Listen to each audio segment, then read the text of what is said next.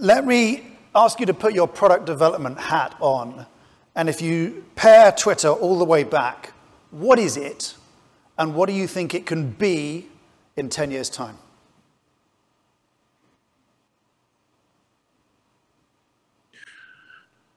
Well, what I've said is that I think Twitter um, is currently the the best, or looked at another way, the least bad uh, public square, um, a forum for the exchange of ideas uh, nationally and internationally, and and but it, I think it could be a lot better at that. Um, in order to be better at that, it needs to really get rid of the the, the bots and the, the scams and spammers and uh, you know basically and, and, and anyone trying to uh, create sort of fake influence on the site by where it's one person or one entity operating 100,000 accounts um, or you know obviously scammers are not good um, and, and Twitter really uh, needs to do a much better job at that. Um, the it also needs to build trust, more trust with users. I think the way to do that is by open sourcing the algorithm so everyone can see how the algorithm works and can uh, suggest improvements and changes. I would literally, literally just put the, uh, the, the Twitter algorithm on on GitHub and say like, hey, anyone want to suggest changes to this? Please go ahead. Um, and and just you really want transparency to build trust. Uh, and then any any cha- any sort of adjustments to tweets or uh, any any human intervention uh, uh with any account on Twitter should be highlighted as a Twitter person took the following action with your account or with this tweet, so that you're not sort of sitting there in the dark wondering why did this tweet not get any attention or why did this one get a lot of attention. Um, it's far too random, um, and um, you know, and then I think Twitter needs to be much more even-handed. It, it currently has a strong left bias uh, because it's, it's based in San Francisco. Uh, I, I, don't think the people that there necessarily intend, I, or at least perhaps some of them don't intend to to have a left bias. They just, from their perspective, uh, it seems moderate, but they're just coming at it from a, a, a, an environment that is that is very far left. So um, but, but then this, this, this fails to build trust in, to, in the rest of the United States and, and also in, perhaps in other parts of the world uh, because uh, you, Twitter needs to be even handed and, and be, um, you know, I think I, said publicly, uh, victory would be that the, um, the, the most far right 10% and the most far left 10% are equally upset. Um, uh, like, I, I, don't think this is a, a, situation where you're going to get necessarily a lot of praise. you're just gonna you're just gonna balance the anger. so how so, how do you? Because people will people will automatically associate you with Tesla and you with Twitter. Is there any risk in your mind that the actions that you're going to take at Twitter, which you've admitted freely will upset some people, um, potentially lead to a commercial impact on Tesla? Um, I'm confident that we will be able to sell all the cars we can make. I mean, currently the, the lead time for ordering a Tesla is ridiculously long. So our issue is not demand, it is production. But that's at the moment because of the global supply chains and the chip shortages. That's less around electric car demand, which we are expecting to go absolutely through the roof, and you obviously have very ambitious targets for that at Tesla. Yeah, um, I mean, even before there was uh, the, the, supply chain issues, Tesla uh, demand exceeded production. So um, now, now it's demand is exceeding production to a ridiculous degree. Um, uh, we're actually probably going to limit uh, just, just stop taking orders for for anything beyond uh, a certain period of time because you know some of the timing is like a year away. Uh, so um, anyway, uh, the, the, frustration that we're seeing from customers is uh, being unable to to get them a car, um, not uh, are, are, they willing or interested in buying a car. Um, so our basically, I, I think zero about demand generation and a lot about production and engineering and supply chain. I, I, have two more questions on Twitter, if I may, before we turn for the rest of the session um, to Tesla. How confident are you the deal will happen? And is there a risk? This is all one question. And is there a risk, um, because you're putting a lot of your personal stake up for this to fund it, is there a risk that if it all goes south, you're imperiling your stake in Tesla, potentially hurting Tesla financially and maybe even SpaceX um, if it all goes to pot? That's the technical term. yeah, sure. Um, so, I mean, I think there's still a lot of things that need to get done before this deal concludes. Obviously, there's not yet even been a shareholder vote. Um, and, and Twitter has not yet filed the, the proxy for a shareholder vote. Um, so there are still, you know, some outstanding questions that need to be resolved. Um, and uh, so it, it is certainly not a done deal. Just uh, objectively, it is not a done deal. um, you know, the best case scenario is that this would be, you know, I think, perhaps done in, in, in uh, two or three months. Um, yeah. And the final question, and this is, this is really the two-paid elephant in the room, are you planning to let Donald Trump back on? Well, uh, I think there's there's a general question of should Twitter have permanent bans? Um, and you know, I've, I've, talked with Jack Dorsey about this, and uh, he and I are of the same mind, which is that uh, permanent bans should be uh, extremely rare and really reserved for uh, people where they're trying to uh, for, for, accounts that are bots or uh, spam scam accounts, uh, where there's just no legitimacy to the account at all.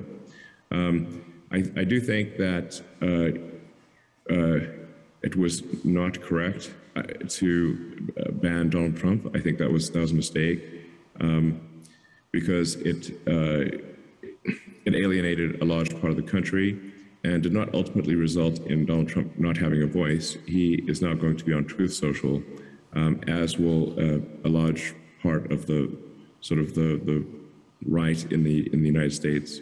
Um, and so I think this could end up being frankly worse than having a sing, you know a single forum where everyone can debate.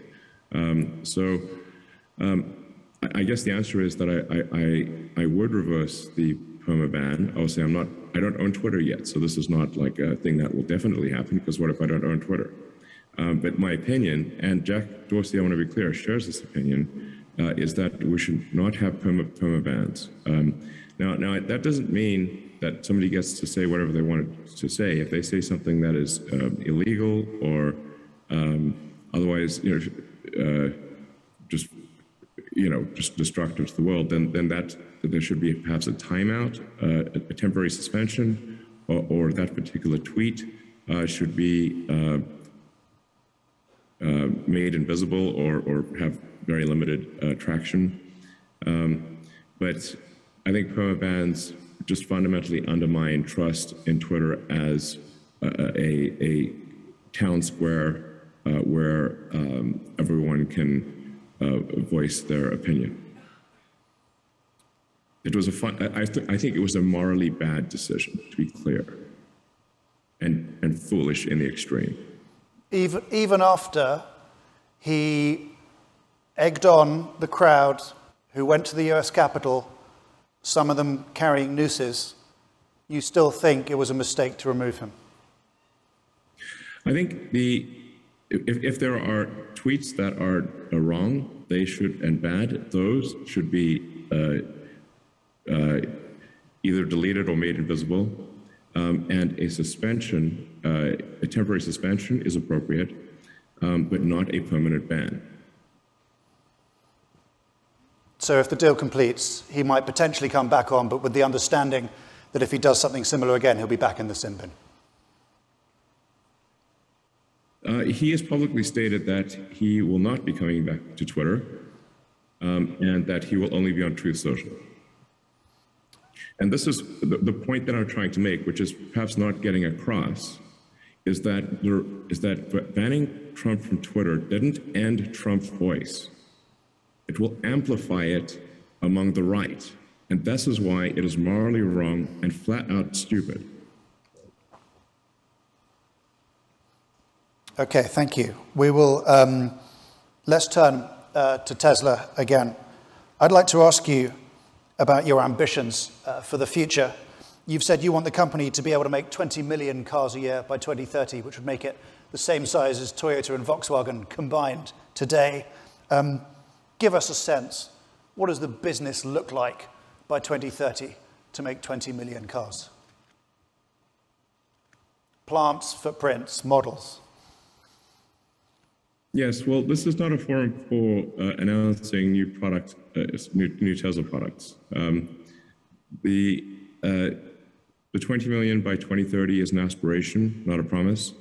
Um, and the the reason for uh, aiming for something like that is there are approximately 2 billion uh, cars and trucks in the world, and uh, for us to really make a dent in sustainable energy and electrification, uh, I, I, think we need to, to replace at least 1% of the fleet per year uh, to really be meaningful. Um, and and that's, that's where the 20 million units comes from, uh, is, is let's, let's try to replace 1% of the global fleet of 2 billion cars and trucks per year. Um, and um, that's our aspiration. It's not a promise, it's an aspiration. Uh, I think we've got a good chance of getting there. And uh, people will see based on the products that we um, unveil, uh, will be able to judge for themselves whether that goal is realistic or not. Uh, we have an incredible team at Tesla and um, executing very well, and our annual growth rates are faster than any large manufactured product in, in the history of Earth.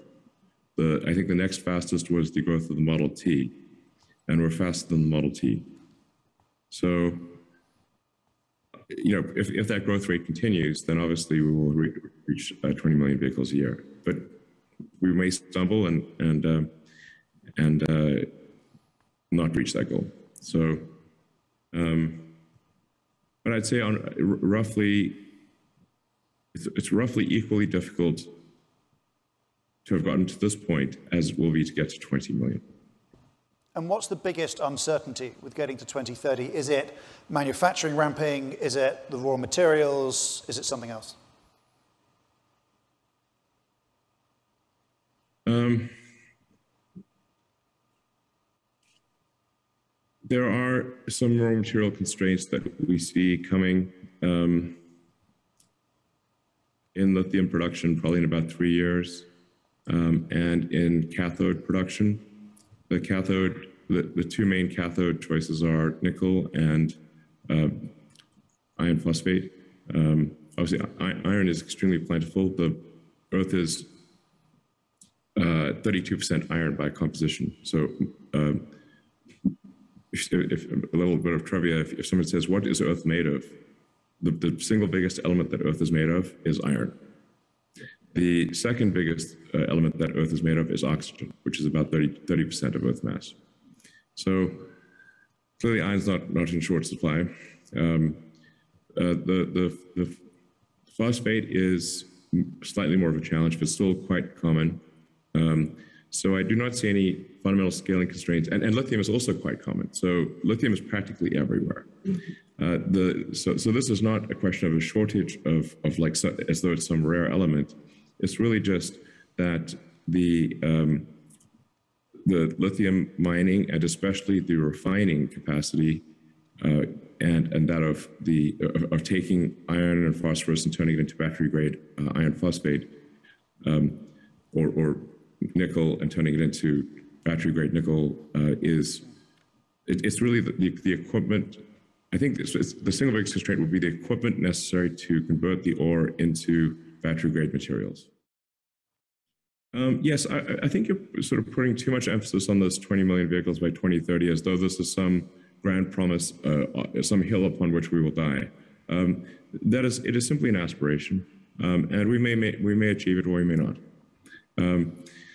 Uh, we, we, our goal is to accelerate the advent of sustainable energy, and and so that's why we want to make a lot of cars and also a lot of stationary battery packs because the three pillars of a sustainable energy future are electric transport, uh, stationary battery packs, and solar and wind, and, and geothermal and hydro, basically sustainable energy sources. But solar and wind, particularly, are intermittent. And so you need stationary battery packs uh, to store the energy when the sun doesn't shine. Do you think Tesla has succeeded in its goal then? Or do you think there's still much more to do? No, I think that we, we, we've, we've not succeeded in the goal. We, we, if you consider the goal to be uh, getting the uh, automotive industry to move uh, strongly towards electric vehicles, I think that part of the goal we have succeeded in. That, and that was explicitly part of our goal is to to get the industry moving towards electric vehicles because they, they they were doing nothing in that direction when we started. Um, and for the longest time, they were uh, dismissing the concept of electric vehicles. Um, and then uh, Tesla started taking market share away from them, and that changed their mind. How long do you think you're likely to stay at Tesla? As long as I can be useful. And what, other, what else is there in terms of potential future projects that piques your interest? You're obviously going to be quite involved in Twitter if the deal goes through, but you've got Tesla, you've got SpaceX, you've got Boring, you've got Neuralink. As you're looking around thinking you potentially have capacity, um, what else is there in terms of the kind of, I don't know, betterment of the human condition or improving Earth that you feel you might want to turn your attention to in future? Well, I, am trying to take the set of actions that I think most likely make the future good, um, and hopefully not pave the road to hell with good intentions. So, um, so I think Tesla's about accelerating sustainable energy because we obviously need a sustainable energy future on Earth for Earth to be good. Um, then SpaceX is about extending life beyond Earth so that we may become a multi-planetary species, and, and with Starlink uh, providing uh, internet coverage to the, the least served in the world. What yeah. do you think the next goals are then for SpaceX? And do you have a date in mind for when you think they will get to Mars?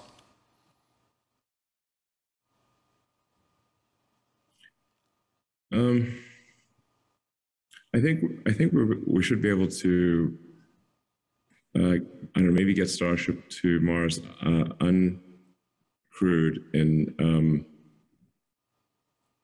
three to five years. Um, and then I think if, if that's successful, then we may be able to send a crewed mission to Mars uh, before the end of the decade. Can I bring us down to earth gently um, and, and, ask you about China in relation to Tesla? Where do you, sure. how important is the market for you? Do you think China contributes most of your growth in the future? Um, no, I think China is obviously a very significant market, but it is, um, you know, I'd it's probably 25 to 30% of our market uh, long term. Um, the rest of the world is probably three quarters of it. Do you see? I promised I didn't have any more Twitter questions, but I have. This is sort of a Twitter question. Do you um, do you see any risk at all that China uses your ownership of Twitter potentially to interfere or block Tesla's operations in the country? Because obviously China has, has banned Twitter. I've seen no indication to that effect. Okay. How, um, how close would you say you are personally to the Chinese government? Because when you set up the factory in Shanghai, the rules were rewritten around joint ventures to allow you to do that. Well, um, yeah, I was certainly asked many times uh, by the, the, government of China to to do a factory in China. I said, well, we, we we're not going to do one which is 51% locally owned. Um, and so if they're, if they're, willing to, to change the rules, not just for us, but for everyone, um, then, then we would move forward. And so they did. Um, and I think it's been very successful so far, and the, the government's very happy about it. And so I don't know, things are proceeding fairly well. How many other plants are you expecting to open in China in the near future? Um, well, we're not expecting to open uh, any any uh, additional plants in China in the near future. Uh, we will we will be expanding our Shanghai factory, um, but we our, our focus on production is going to be on the two new factories that we've recently completed uh, in um, Berlin and in uh, Austin, Texas. How hard is it as a problem to solve? Because you've made predictions in the past about autonomy. Um, you know, some of those haven't come to fruition at the same time. Has your understanding of the problem of autonomy changed over the last few years? Uh, yes, the I would say that self-driving is one of those things where um, there there are a lot of false dawns, or you know where um, you think you're getting there, but then you end up asymptoting. Um, your, your your progress is initially linear, and then and then looks logarithmic and sort of tapers off um, because you're in a in a local maximum that you did not realize you were in.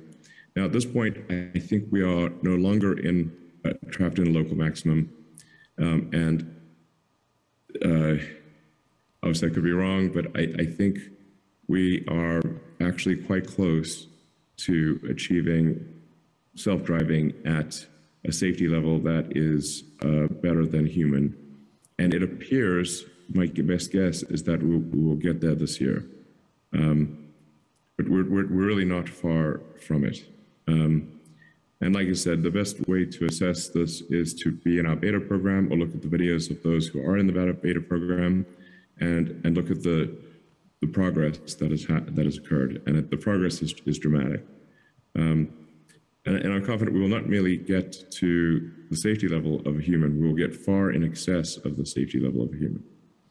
Um, so I think ultimately, probably a factor of 10 uh, is safer than a human as measured by the probability of injury. Now, given where you're trying to get to with this, the, you know, the factor above human driving, the potential lives that could be saved with that, I need to ask you about some of the accidents and fatalities that have happened with vehicles previously. Um, the people who died, do you consider that that was a price worth paying to get to the level where we want to be to save more human lives in the future? Well, it is important to note that, uh, and, and, and, we have never said ever that Tesla, uh, the Tesla autopilot does not require attention.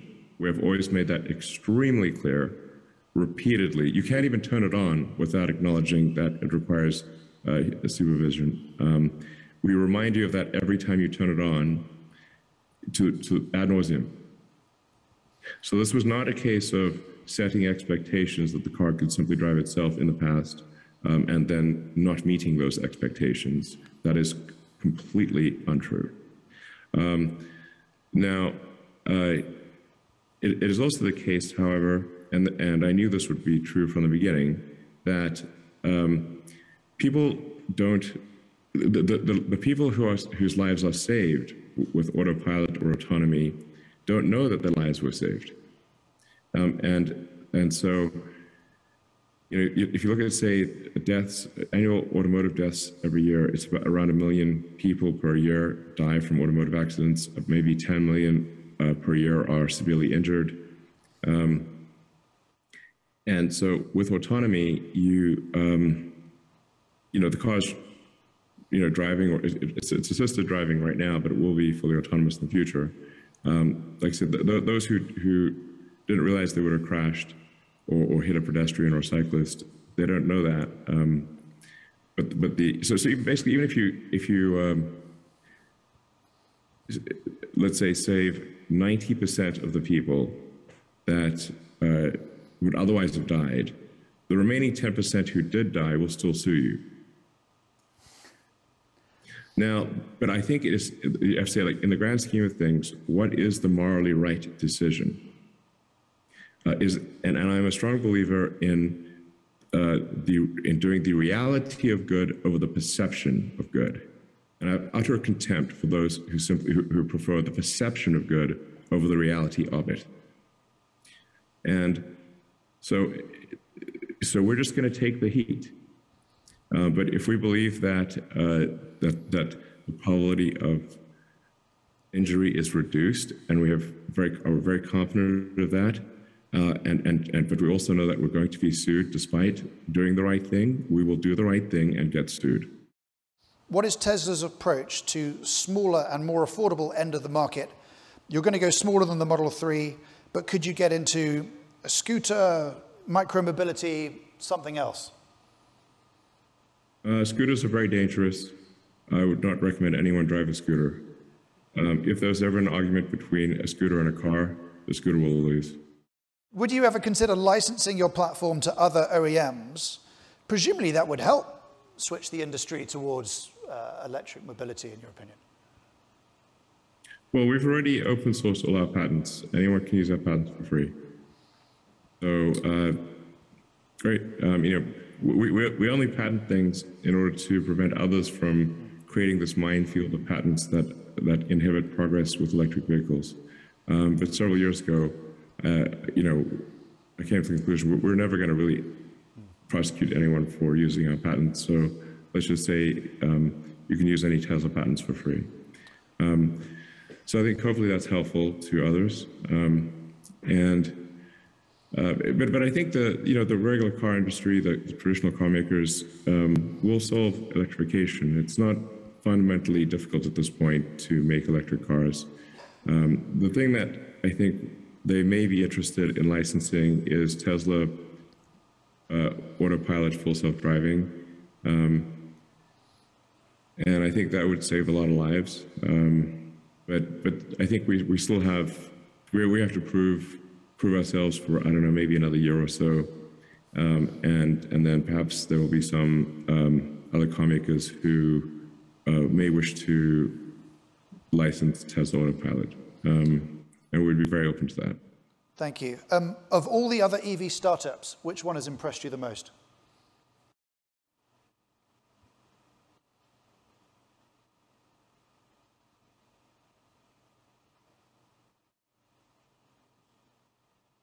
Well, I think the company making the most progress besides Tesla is actually VW, which is not a startup, but could be viewed uh, in some ways as a startup from an electric vehicle standpoint. So VW is doing the most um, on on the, the electric vehicle front. Um, I think there will be some very strong companies uh, coming out of China. Um, there's just a, a, lot of super talented, hardworking people in China that are um, strongly believe in, in, in manufacturing, and and they will they'll they won't just be burning the midnight oil; they'll be burning the 3 a.m. oil. so um, they they won't even leave the leave the factory type of thing. Whereas in America, people are trying to avoid going to work at all.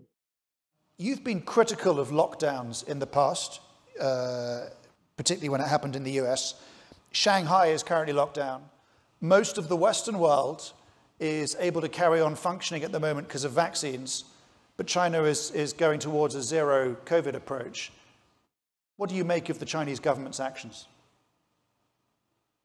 Well, um, the you know I've had some conversations with the Chinese government um, in in recent days, and it's uh, clear that the, uh, lockdowns are, are, are being lifted rapidly. So I would not expect this to be um, a significant issue in in the coming weeks. Um, you know, the in the past, where I was sort of upset with lockdowns is where those lockdowns differentially affected Tesla, but not others. Um, so, in the case of California uh, and the Bay Area counties specifically, um, every other car factory in North America was allowed to start, but not Tesla, even though we, there was no basis for that. It was simply because we were located in Alameda County in California. Um, and but they had no rational. It, it was arbitrary and and uh, unfair, and and and um, you know that's that's the reason for why we're quite upset about uh, kind of Tesla being singled out as the only car company in America that wasn't allowed to start, even though I think our healthcare practices are probably better than anyone else. Do you think you'll ever wrap all your various operations, Tesla, SpaceX, etc., under one umbrella group, or do you want to keep them separate for the time being? I, I they're they're sort of separate objectives with uh, different shareholder bases. And I think you know, I don't see a ton of merit in combining them. Um, at times, there are people, um, you know, where where we have some say, very talented people who who actually are willing to join, but they they want to do things both at SpaceX and Tesla. Uh, so, for example, we, we've got um, one of the best advanced materials teams in the world. It, it, might be the best, but it's certainly one of the best. Um, and uh, a lot of people on that team were willing to join, but only if they could work on both rockets and cars. And so it was like, great, um, th- let's do that. And, and so we can sort of share some of the ideas uh, between rockets and cars, which are obviously not competitive. you know, they're, they're, they're, not different competitive segments. Um, so, you, you know, if you say like, if somebody's a really incredible uh, technologist, innovator, engineer, they, they want to work on interesting things.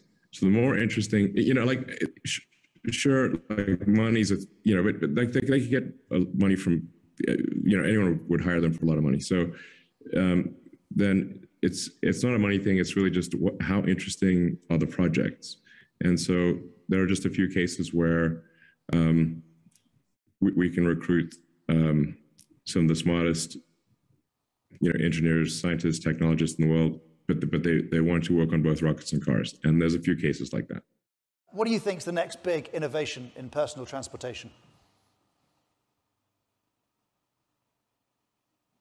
Well, I think tunnels are underrated, underappreciated. tunnels will never let you down, or will they? here's, here's, the, no, here's, here's, the question on, here's the question on tunnels, right? So if you look at, say, for instance, Robert Moses in New York built loads of highways. They were supposed to solve congestion, and all they did was led to more congestion. How do you avoid tunnels doing exactly the same, but just being very expensive in the process? um, I have to say, the this this notion of induced demand is one of the single dumbest notions I've ever heard in my entire life. Um, if if if you know if adding roads just increases traffic, why don't we delete them and decrease traffic? And I think you'd have an uproar if you did that.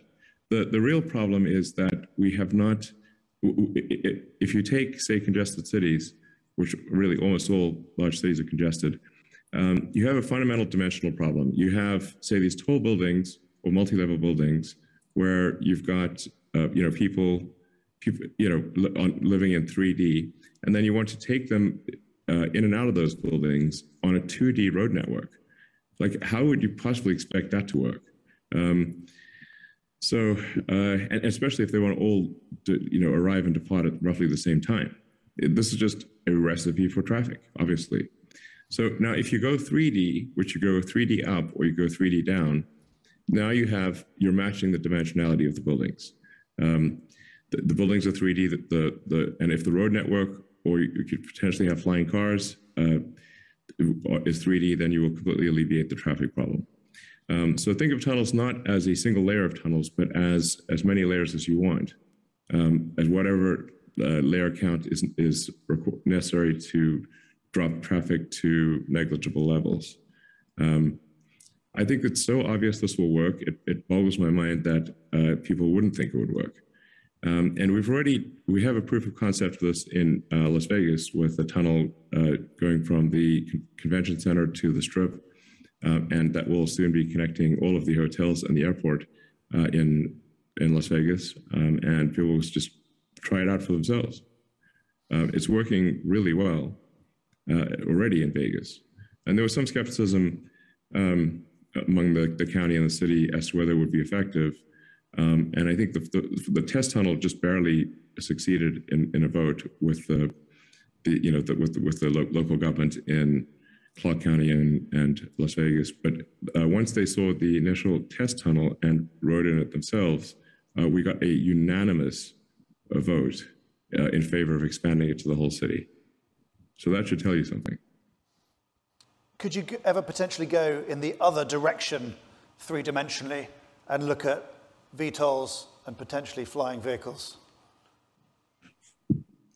Well, I like the idea of VTOLs, but um, you know, we, we already have VTOLs in the form of a helicopter.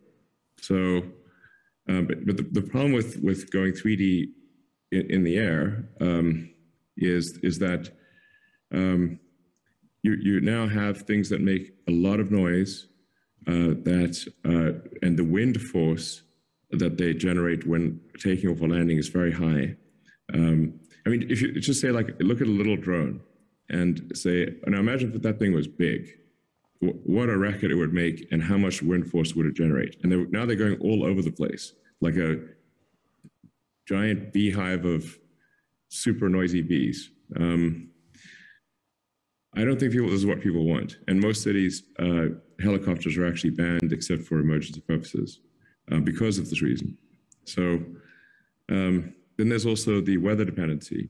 So if, if it's if there's if there are high winds or or, or heavy snow, rain, sleet, uh, now the you can't fly. Um, so that now now you're shut down, and and, and can't go anywhere.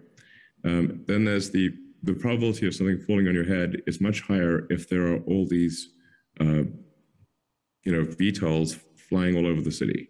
I, I mean, I think people's comfort level would be quite reduced.